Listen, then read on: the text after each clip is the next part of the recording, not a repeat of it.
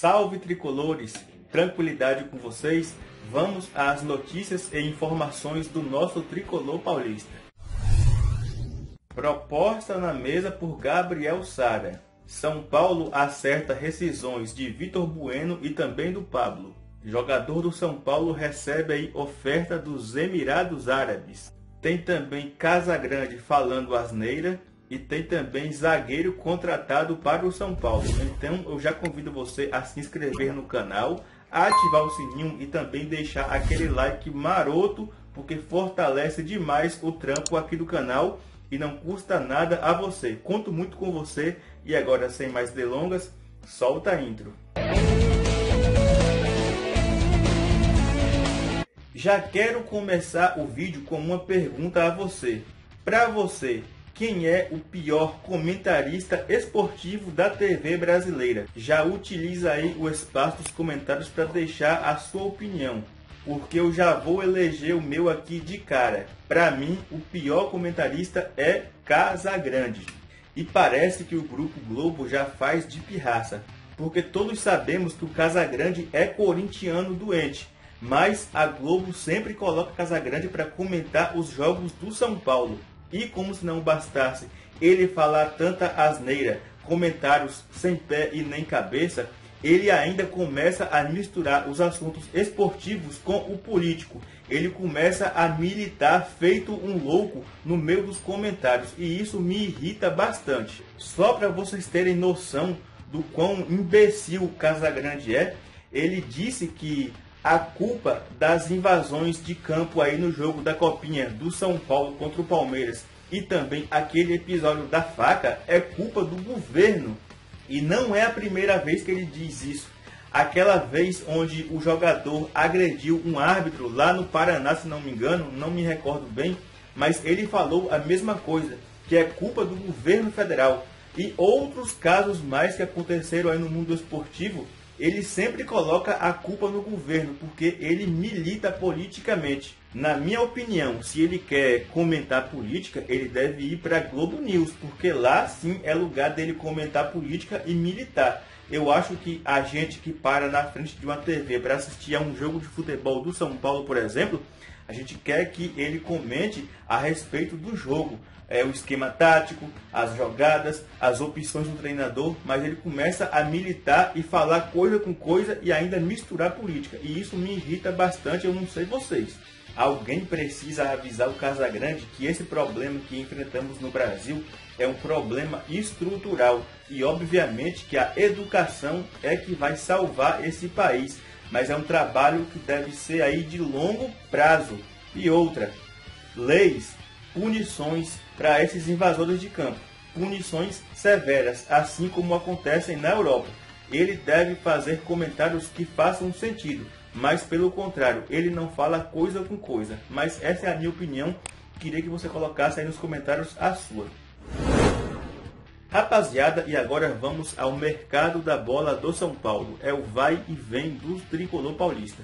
Finalmente, Vitor Bueno assinou a sua rescisão contratual com o São Paulo o São Paulo vai pagar aí cerca de 2 milhões de reais que estavam em atraso ao jogador de forma parcelada.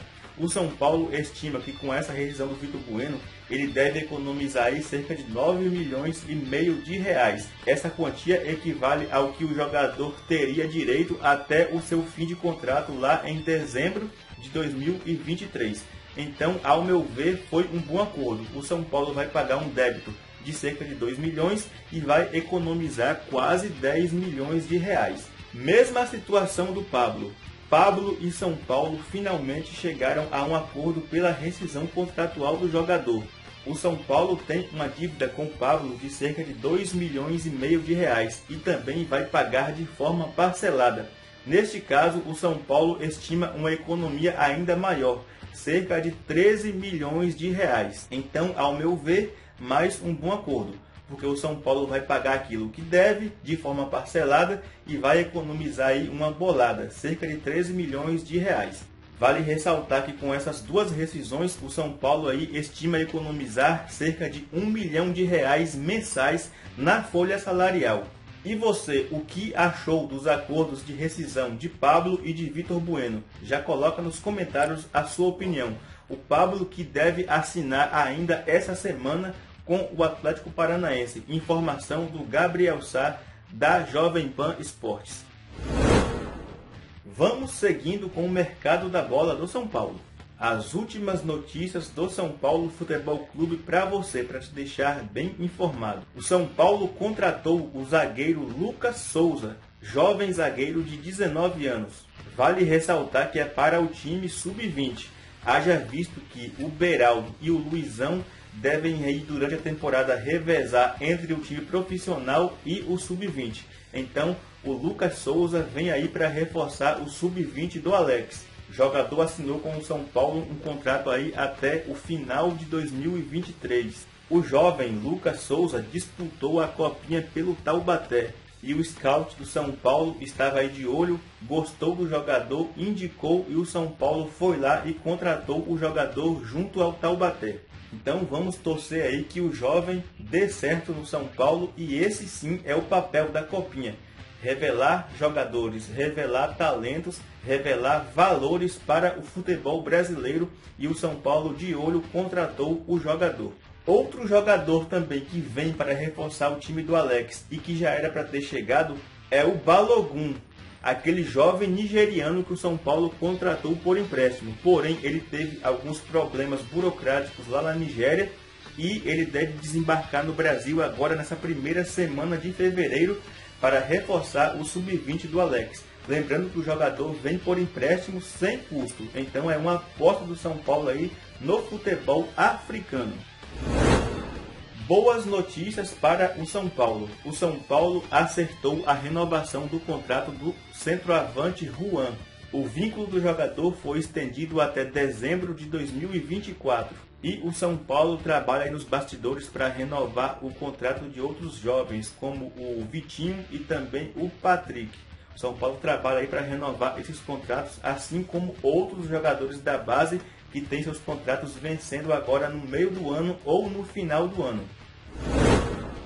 Rapaziada, e tivemos proposta negada. O São Paulo rejeitou uma proposta oficial do Dallas FC dos Estados Unidos pelo jovem meia Gabriel Sara. O Dallas ofertou aí cerca de 10 milhões de dólares pelo Gabriel Sara, mas o São Paulo não gostou da proposta. O São Paulo achou pouco.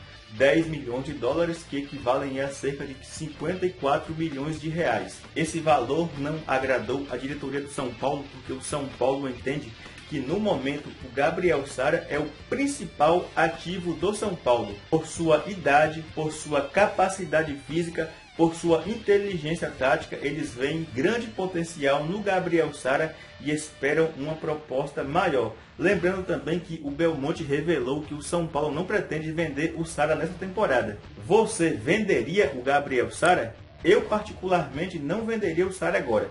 Eu gostaria que o São Paulo se livrasse primeiro do Igor Gomes.